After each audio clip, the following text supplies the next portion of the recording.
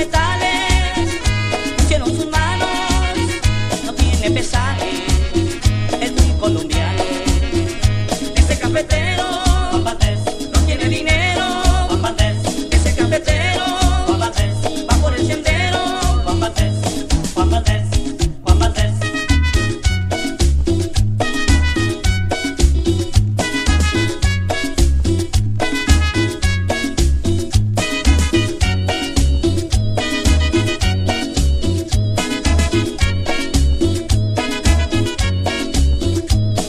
cafetero.